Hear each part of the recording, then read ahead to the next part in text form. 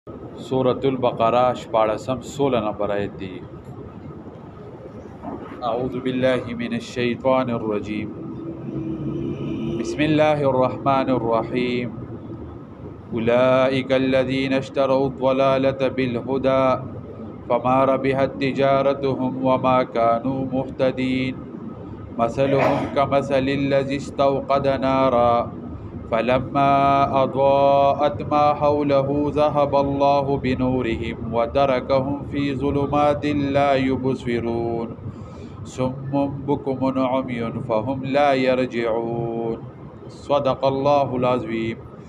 رب شرح لي صدري ويسر لي امري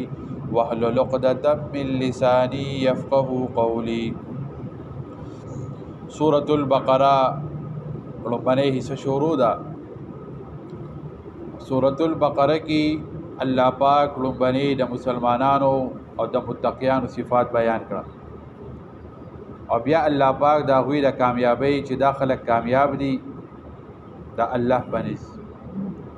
د دې په مقابله کې چې کم کافران او مشرکان او منافقین دي دغه خلک د الله بنس ناکام دي اوس الله پاک د دغه خلکو تفصیل بیانوي چې کافر او مشرک داغه تفصیل بیان شو چې هغوی کې الله پاک کم د حق قبلې دو استعداد او صلاحیت خو دیو هغه هغوی ضایع کو او دا غینه څه فائدہ وانه غست الله پاک ته هغه استعداد مکمل ختم کو پاغه باندې مهر لګو اوس دغه خلکو ته حق ویل او نه ویل دا برابر دي بیا ورپسې الله پاک د منافقین او تذکرو فرمایل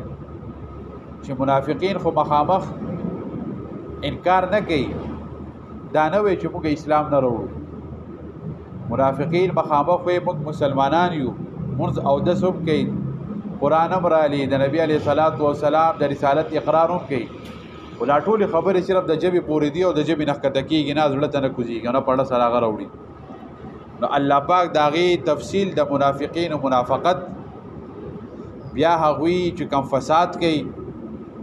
او په خپل خو هم فسادیان دي په خپل هم دین نه قبلې خو چې نور کم خلک دین ته راځي هغوی هم منع کوي او دا هغوی په ځل کې میلان پیدا کیږي اسلام ته دین اسلام ته نو هغوی ولا زړه تورې چې دا تاسو چې دین دین اسلام ته راځي دي کې خدا خرابې ده دي کې دا تکلیفونه دي دا سختې دي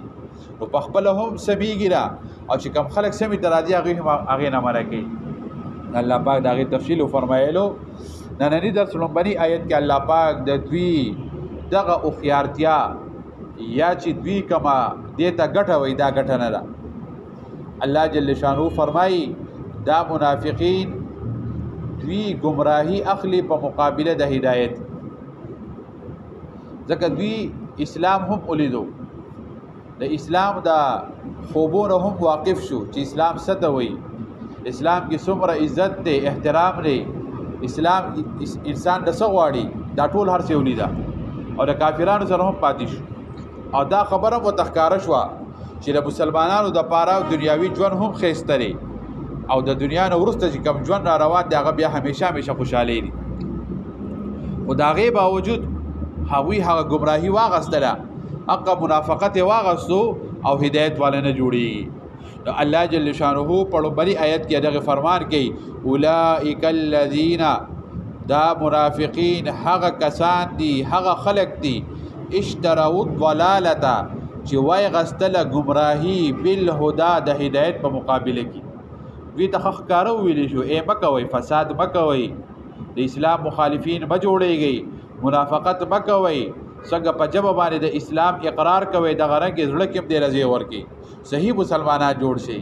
خو دوی خپل ځان ته ډیر اوخياران وي دوی وې موږ مفاد واخلو موږ دنیا حاصل کو د مسلمان نه فایده والو د کافر نه والو نو الله جل شانو فرمایي د خلکو گمراهي واغستا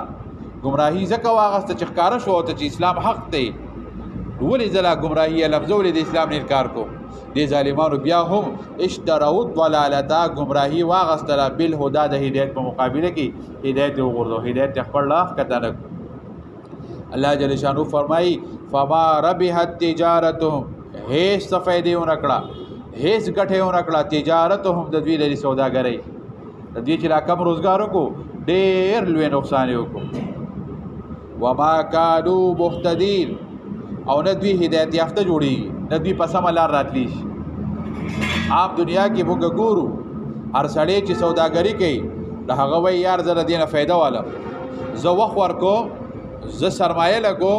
زه چرې دي کې نقصان نکو اې لپاره غار قسم قربانې ته تیاری د غرنګي الله پاک موتاله د دنیا د ژوند را کړی دی موتاله عقل را کړی دی موتاله هوش او حواس را کړی دی موتای په فطرت د اسلام پیدا کړیو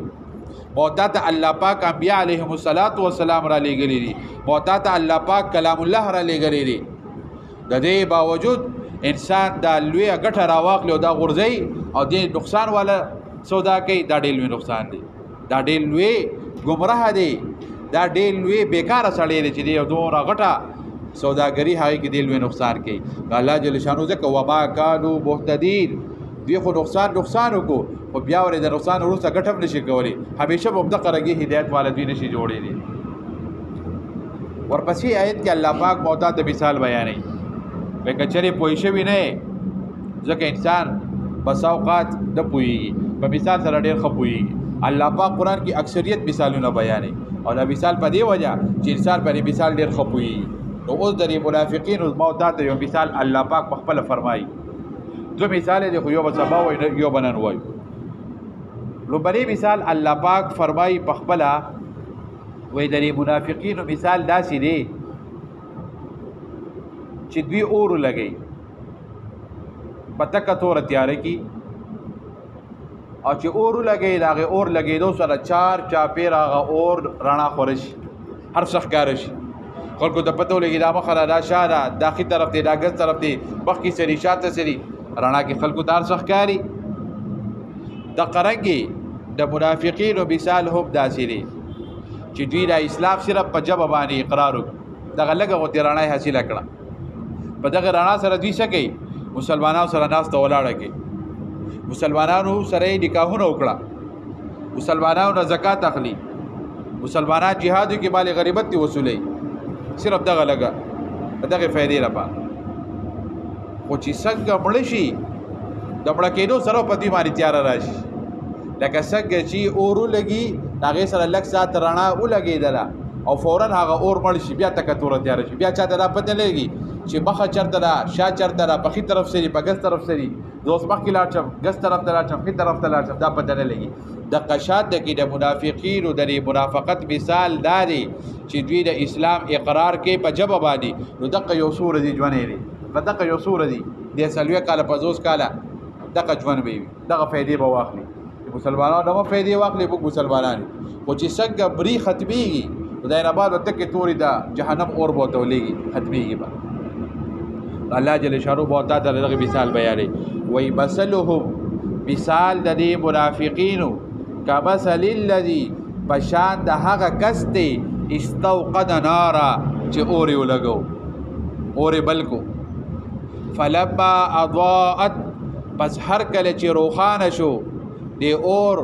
رڼا خور کړه ما حوله چار چا پیرا چار چا پیرا رڼا خور کړه